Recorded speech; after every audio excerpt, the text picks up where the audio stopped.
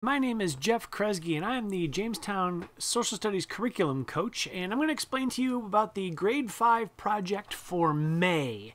The standard that we want to hit is 5.6, and it has to do with the government. And the standard actually reads The political systems of the Western Hemisphere vary in structure and organization across time and place. So, what we're going to do in this one is we're going to compare the Declaration of Independence of the United States to the declarations of independence from other countries, Haiti, Venezuela, and Mexico, and um, the influence of the United States freedom from England over uh, is it compared to other Latin American countries. So let's take a look, shall we? First of all, if ever you want to see information on any of the projects, you can just click the link right there. But then what we're going to do is we're going to get the introduction, and it says, Why do countries declare independence? And it'll give you a little background there on the Declaration of Independence and its authorship by Thomas Jefferson.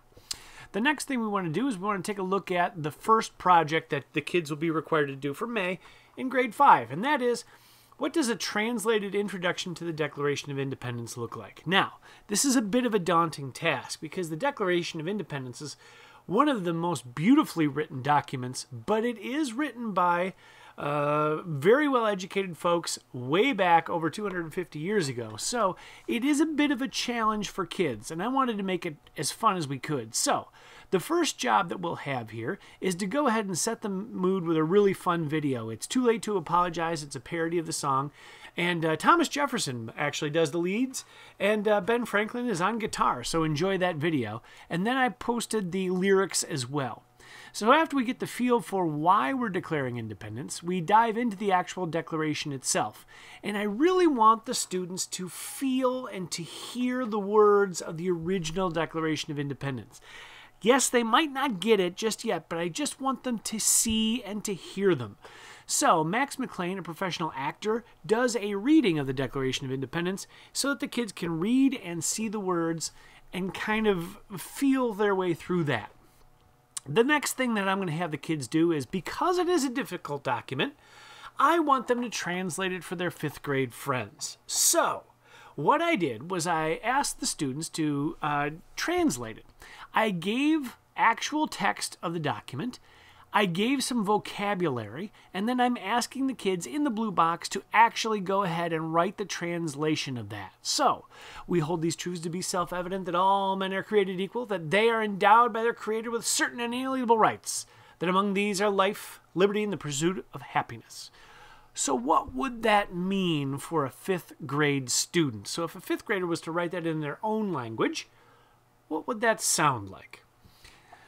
Again, paragraph and a couple of vocabulary terms, and I'm asking the students to write their translation. That takes us to project number two. I gave them a little help on this one. So, the Declaration of Independence is written in three parts.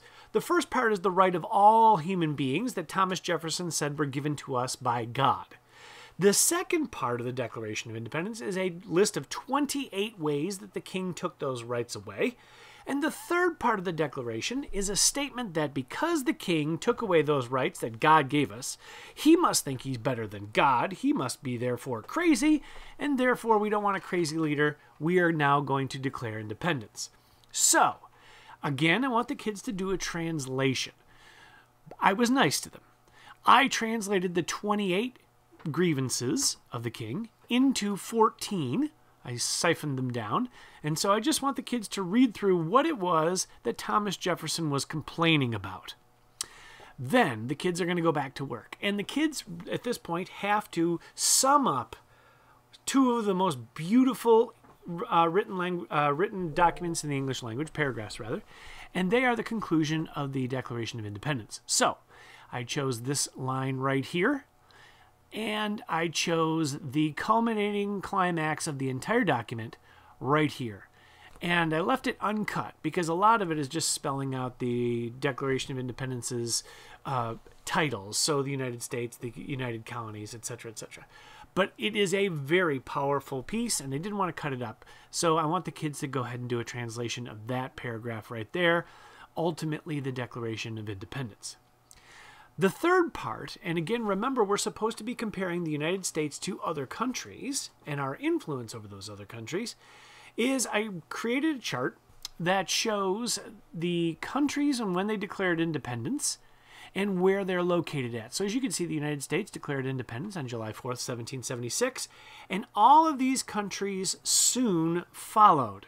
So I wanted the kids to see that in the chart. The next thing that I want the kids to do is I found uh, cut up excerpts of the Declaration of Independence from Venezuela, from Haiti, and from Mexico. And I want the kids to choose one of those three. Go ahead and read the excerpts that I put together for the kids, and then compare the United States and the country that they chose. What's similar and what's different. So, what follows is Venezuela's Declaration of Independence, Haiti's Declaration of Independence, and Mexico's Declaration of Independence. And then I want the kids to tell me which country they chose to work with and what is similar between that country and the U.S. Declaration and what's different from their country and the U.S. Declaration. Again, my name is Jeff Kresge. I am the Jamestown Social Studies Curriculum Coach. If you have any questions about this project or anything regarding the teaching of social studies, please email me. It's jeffrey.a.kresge at jpsny.org. Thank you.